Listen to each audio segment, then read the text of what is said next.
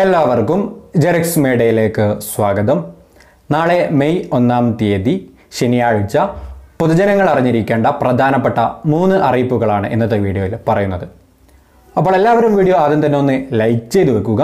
കൂടുതൽ ആളുകളിലേക്ക് വീഡിയോ എത്തിച്ചേരുന്നതിന് വേണ്ടിയിട്ടാണ് നിങ്ങളുടെ ലൈക്ക് ആവശ്യപ്പെടുന്നത്. അതുപോലെ ചാനൽ ഇതുവരെ സബ്സ്ക്രൈബ് ചെയ്യാത്തവർ സബ്സ്ക്രൈബ് ചെയ്യാനും ബെൽ നോട്ടിഫിക്കേഷൻ ഓൾ എന്ന ഓപ്ഷൻ എനബിൾ ചെയ്യാനും മറക്കരുത്. അപ്പോൾ നമുക്ക് വിശദമായ വീഡിയോയിലേക്ക് വരാം. ഒന്നാമത്തെ പ്രധാനപ്പെട്ട അറിയിപ്പ് നമുക്കറിയാം മെയ് രണ്ടാം തീയതിയാണ് വോട്ടെണ്ണൽ വരുന്നത്. അതിനോടനുബന്ധിച്ച് മെയ് ഒന്നാം തീയതി മുതൽ നാലാം തീയതി വരെ കർശന നിയന്ത്രണങ്ങളുമായി വന്നിരിക്കുകയാണ് ഹൈക്കോടതി. നിയമസഭാ തെരഞ്ഞെടുപ്പിന്റെ വോട്ടെണ്ണലുമായി ബന്ധപ്പെട്ട് മെയ് ഒന്ന് മുതൽ നാല് വരെ സംസ്ഥാനത്ത് ഒരു തരത്തിലുള്ള കൂടിച്ചേരലുകളും ഉണ്ടാകരുതെന്ന് ഹൈക്കോടതി പറഞ്ഞു. കോവിഡ് രോഗബാധ അതിതീവ്രമായി ഉയരുന്ന നിലവിലെ സാഹചര്യത്തിൽ കോവിഡ് മാർഗനിർദ്ദേശങ്ങൾ ലംഘിച്ച് ഒത്തുകൂടുന്നവർക്കെതിരെ കർശന നടപടി സ്വീകരിക്കണമെന്നും ഹൈക്കോടതി നിർദ്ദേശിച്ചു. രാഷ്ട്രീയ പാർട്ടികളുടെ വിജയാഹ്ലാദ പ്രകടനങ്ങൾ അനുവദിക്കാൻ പാടുള്ളതല്ല പോലീസും ജില്ലാ ഭരണകൂടവും ഇക്കാര്യം ഉറപ്പുവരുത്തേണ്ടതാണ്. അനധികൃതമായി ഒത്തുകൂടുന്നവർക്കെതിരെ പകർച്ചവ്യാധി പ്രതിരോധ നിയമമനുസരിച്ച് കേസെടുക്കണമെന്നും കോടതി നിർദ്ദേശിച്ചു. കോവിഡ് വ്യാപനത്തിന്റെ പശ്ചാത്തലത്തിൽ സംസ്ഥാനത്തെ നിലവിലുള്ള നിയന്ത്രണങ്ങൾ ശക്തിപ്പെടുത്തുമെന്ന് ഇന്നലെ മുഖ്യമന്ത്രി പിണറായി വിജയനും പറഞ്ഞിരുന്നു. ഫലപ്രഖ്യാപന ദിവസം കൂട്ടം കൂടാതെ ഇരിക്കാതെ ഓരോരുത്തരും അവരവരുടെ വീടുകളിൽ ഇരുന്ന് ഫലപ്രഖ്യാപനം അറിയണമെന്നാണ് മുഖ്യമന്ത്രി പറഞ്ഞത്. ആഹ്ലാദ പ്രകടനങ്ങളുമായി പൊതുസ്ഥലങ്ങളിൽ ആൾക്കൂട്ടങ്ങൾ സൃഷ്ടിക്കരുതെന്നും മുഖ്യമന്ത്രി പറഞ്ഞിരുന്നു. അപ്പോൾ ഇതാണ് ഒന്നാമത്തെ പ്രധാനപ്പെട്ട അറിയിപ്പ് എന്ന് പറയുന്നത്. അപ്പോൾ എല്ലാവരും പ്രത്യേകം ശ്രദ്ധിക്കുക. ആരും അനാവശ്യമായി വീട്ടിൽ നിന്ന് പുറത്തിറങ്ങാൻ പാടുള്ളതല്ല. എന്തായാലും പോലീസ് ഇതിനെതിരെ കേസൊക്കെ എടുക്കും. അതുപോലെ തന്നെ പുറത്ത് അത്യാവശ്യം ഇറങ്ങുമ്പോൾ സാനിറ്റൈസ് ചെയ്യാനും അതുപോലെ തന്നെ മാസ്ക് ശരിയായ രീതിയിൽ ധരിച്ച് ഇറങ്ങാൻ വേണ്ടി എല്ലാവരും ശ്രദ്ധിക്കുക. എല്ലാവരും സ്വയം പ്രതിരോധിച്ചാൽ മാത്രമേ നമുക്ക് ഈ ഒരു മഹാമാരിയിൽ രക്ഷപ്പെടാൻ കഴിയൂ. ഓരോരുത്തരുടെയും പ്രതിരോധം അവരുടെ കൈകളിൽ തന്നെയാണ്. എല്ലാവരും സെൽഫി ലോക്ക്ഡൗണിലേക്ക് പോകണമെന്നാണ് നമ്മുടെ മുഖ്യമന്ത്രിയും പറഞ്ഞിരുന്നത്. അപ്പോൾ എല്ലാവരും ഈ- ഒരു കാര്യം പ്രത്യേകം ശ്രദ്ധിക്കുക. ഇനി രണ്ടാമത്തെ പ്രധാനപ്പെട്ട അറിയിപ്പ്.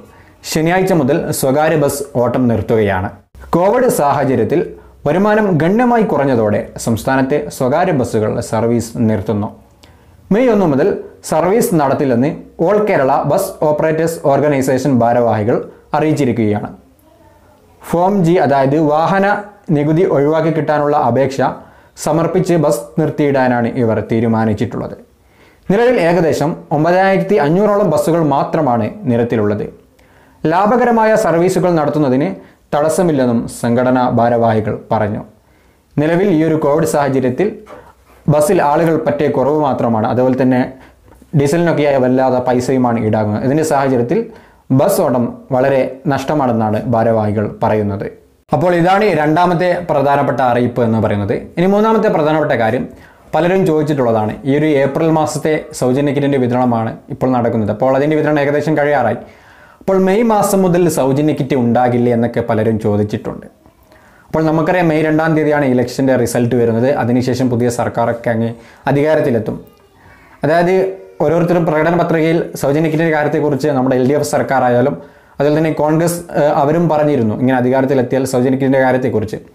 എന്തായാലും ഇനി പുതിയ സർക്കാർ വന്നതിന് ശേഷം മാത്രമാണ് മെയ് മാസത്തിലെയും തുടർന്നുള്ള മാസങ്ങളിലെയും സൗജന്യ കിറ്റിനെ കുറിച്ചുള്ള വിതരണത്തെക്കുറിച്ച് ഇനി കിട്ടുമോ ഇല്ല എന്നുള്ള കാര്യം നമുക്ക് വ്യക്തമായിട്ട് അറിയാൻ സാധിക്കുക. അതുപോലെ തന്നെ മെയ് മാസത്തെ റേഷനെ കുറിച്ചൊക്കെ കൂടുതൽ ആനുകൂല്യങ്ങൾ കിട്ടുമോ ഇല്ല എന്നുള്ള കാര്യങ്ങളൊക്കെ നമുക്ക് അറിയാൻ വേണ്ടിയിട്ട് സാധിക്കുക. അപ്പോൾ അത് അറിഞ്ഞാൽ നിങ്ങളെ എന്തായാലും അറിയിക്കുന്നതായിരിക്കും. അപ്പോൾ ഈ ഒരു വീഡിയോ കുറിച്ചുള്ള അഭിപ്രായങ്ങളും നിർദ്ദേശങ്ങളും തീർച്ചയായും താഴെ കമന്റ് ചെയ്യാൻ മറക്കരുത്. വീഡിയോ മാക്സിമം ആളുകളിലേക്ക് നിങ്ങൾ ഷെയർ ചെയ്ത് എത്തിക്കുക പുതിയ നല്ല ഇൻഫർമേഷൻ വീഡിയോ ആയിട്ട് നമുക്ക് എല്ലാവർക്കും വീണ്ടും കണ്ടുമുട്ടാം. അതുവരേക്കും എല്ലാവരോടും ഗുഡ് ബൈ.